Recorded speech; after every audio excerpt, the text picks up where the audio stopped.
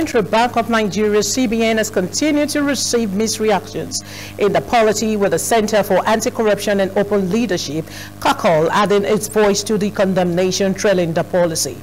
At a press briefing in Lagos on the state of the nation as part of the project on prioritizing anti-corruption and accountability issues during the upcoming general elections, uh, CACOL said the new Naira and cash withdrawal limit policies were desirable.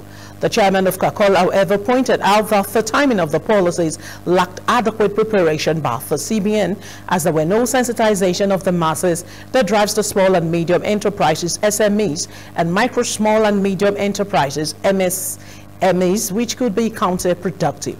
Adeniran said the measures taken by the CBN was another example of inconsistency between the fiscal and monetary policies of the federal government. There are different areas to the what I also agree with the school of thought that it could be a sabotage.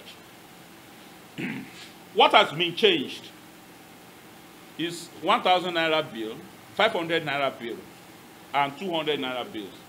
How about 100 naira bill, 50 naira bill? Why are they not reachable?